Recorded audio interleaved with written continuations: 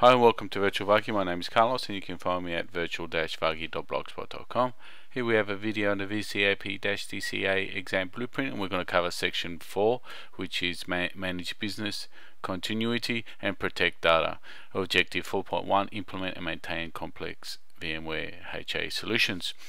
Uh, as you can be aware, this HA subject could be a, a lengthy one. Um, we're only going to go through what's required for this exam blueprint. For example, identify the three admission control policies for HA and identify heartbeat options and dependencies. Um, like I mentioned earlier, we're just going to go over what's required for this exam, uh, as it is uh, quite a lengthy subject. Uh, skills and abilities is calculate host failure requirements, uh, configure, customize isolation response settings, configure HA redundancy in a mixed environment, config configure HA related alarms and monitor an HA cluster, create a custom slot size configuration and understand interactions between DRS and HA, uh, create a HA solutions that, that ensures primary node distribution across sites, and then analyze vSphere environments to determine appropriate HA admission control policy, and also analyze performance metrics to calculate host failure requirements and then analyze virtual machine workload to determine optimum slot size and also analyze a HA cluster capacity to determine optimal cluster size. Uh, the last few we're actually just going to reference some material they can read. I'm going to have this document available for download as my previous videos as well. And we'll just scroll down to the to the section here. Like I said we're just going to go over what is required as far as this document is concerned. So we're going to configure isolation response settings we're going to configure HA redundancy and we're going to have a look at alarms and also slot sizes. And the rest of pretty much is going to have links and documents that we'll need to read to cover these areas uh, the first one will be identify three admission control policies for HA and if we look at the vSphere availability guide 4.0 on page 15 that, that actually details this area here which are the three types of admission control. Uh, and then we go through the actual policies here which is a host failure host failure cluster tolerates. Uh, we can go to the, the the guide here and I'll just go to the appropriate page like I said, most of these areas it, it, does require a bit of reading and we can have a look at that section here and this is via the the guide and it has some good diagrams here which you can actually view and give explanation on slot sizes etc. So the next bit we're going to look at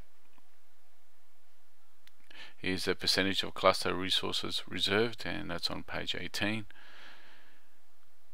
and you can see that title there. Like I said this document is quite vital to to read and understand how all this works for the exam.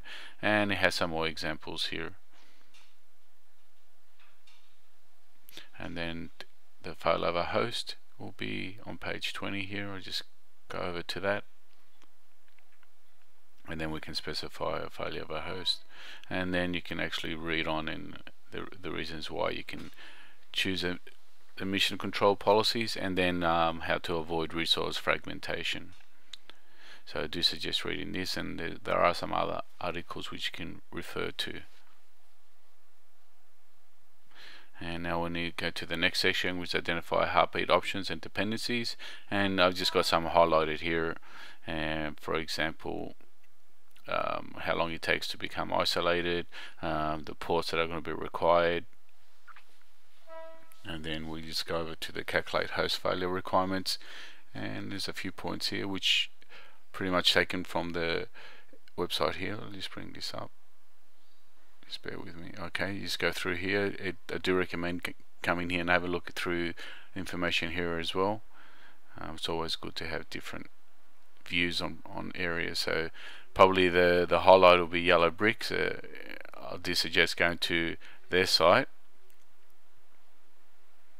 which I've got here and it has a thorough detailed explanation of HA and I do recommend having a look at this book if not buying it.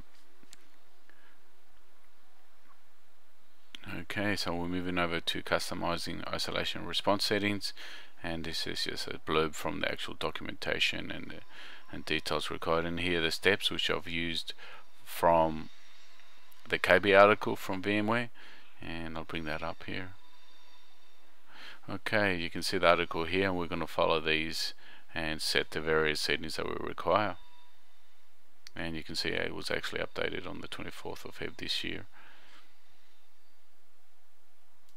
Okay we're here at my test cluster which of um, vcap-ha test and we're just going to edit settings and then we go HA then you just click advanced options and then we can actually put the option in here which is the failure detection time.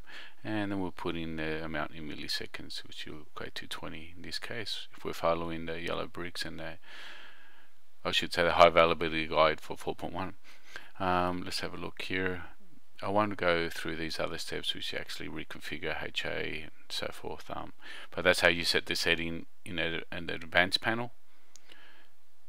And what we're going to do what I did find um, there was um, a little script here from from William. Um, we can use this um, to configure via the vMA which I've downloaded it set up and um, I've configured here. I've actually uploaded set the two files which are required. And this is a side note but I just thought it was quite interesting using it via vMA because I am a fan a fan of the vMA box. Um, so there the details there. We'll just double check the environment now to make sure oh, okay look I'll delete those items that we set previously and double check that, that it has been removed pretty much there's nothing up my sleeves type of scenario. Okay so we've got that set and here we go. Um, I'll just run this. Oh, okay excuse me I've incorrectly set up the syntax here. I'll just put inverted commas here and then I'll run it again. And to set in the, the advanced cluster setting there and it has been added we can actually check in in the GUI. If it has been added so okay that's completed I'll quickly check in here. And it's all been set. So it was just a side note for anyone who's interested um, and that's how you set advanced settings. Configure HA redundancy in a mixed environment. Okay pretty much this is a pretty hot topic as well and I did follow the best practice guides for 4.1 and there are some example diagrams here. They're, like I said, they're only examples how you could set it up uh, using two NICs. Um, obviously, our environments have more NICs than that, but this is just an example on how you could do it. Um, we'll move over to the the best practice white paper and, and you, I'll just, I just suggest downloading this and having a read of this because things do change as technologies upgrade and these are the requirements and it's also important to pay note that failback equals no. Okay, just bring up our lab and I've got the two hosts here and I'll just show you the configuration here. We've got the, um, the failback to no, we've got active on 0 and standby on 2 for service console and for vMotion we've got the same thing no and 2 and 0 the opposite way around. So we just have a look in here and you can see the NIC team in here with the ordering. Okay so that's how we set the network settings according to best practice. And once again if you have a look at the, this doc document here it gives you pretty much the same diagram so I came up with configure HA related alarms and monitor on HA cluster.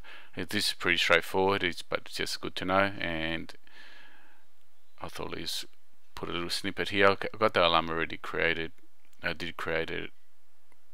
You can create it at different levels so I created it just here and you just file new alarm or you can right click in the white space and say new. So we've got the alarm here you select the alarm type which will be uh, in this case will be clusters and then you can set the various triggers and just click add and then the trigger will come up and then you just use this drop box and select the appropriate event and the status there in advance. You can also read some documentation and the particular event settings for each particular event.